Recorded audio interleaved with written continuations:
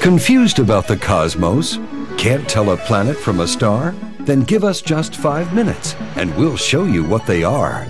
Jack Horkheimer, stargazer, tells you all about the night sky and the biggest show of all, the universe.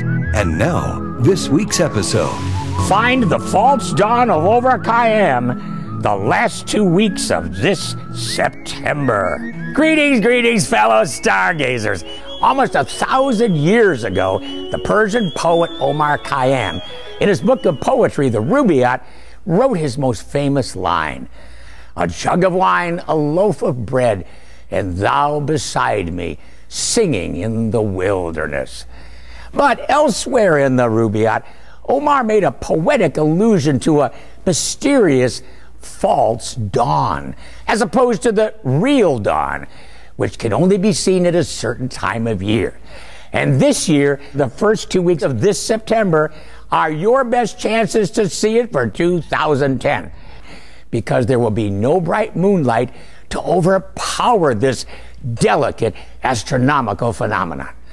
Let me tell you all about it and what you have to do to find it.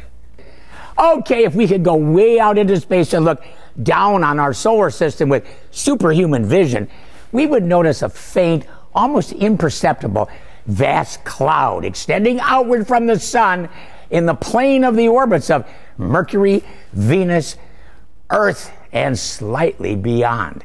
An enormous cloud of cosmic dust.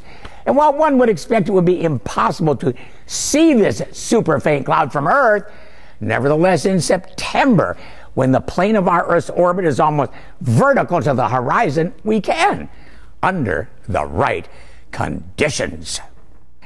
And those conditions require that there is no moonlight out and that you must be far away from city lights because even the faintest moonlight or urban lighting will wipe out this extremely delicate ethereal glow of the false dawn. As a general rule, if you can see the Milky Way from where you're observing, you'll have a good chance to see it. To find it, look toward the east about two hours before sunrise, before the real dawn. It will look like a, a wedge or cone shaped dim patch of light, about the same brightness as the Milky Way, and it will extend from the horizon about one third to halfway up to the zenith. A ghostly, faintly glowing, rounded pyramid of light.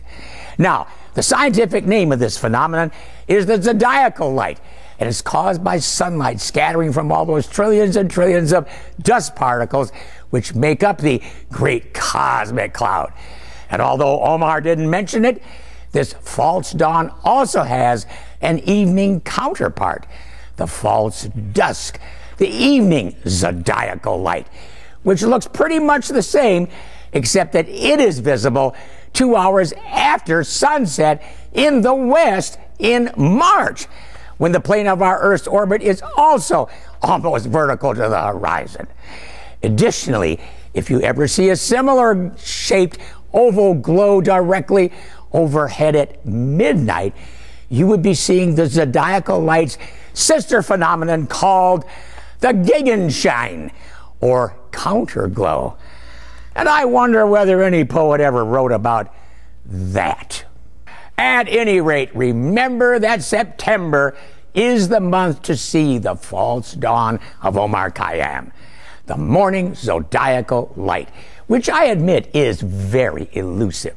But once you've found it, I think you'll know why it appeared in poetry centuries before it appeared in scientific writings. So, Get the outside before dawn during the last two weeks of this month. Be sure you're far away from city lights and see if you are as inspired as an ancient poet. Keep looking up. Make the Stars Your Own is available on DVD or VHS for 1995.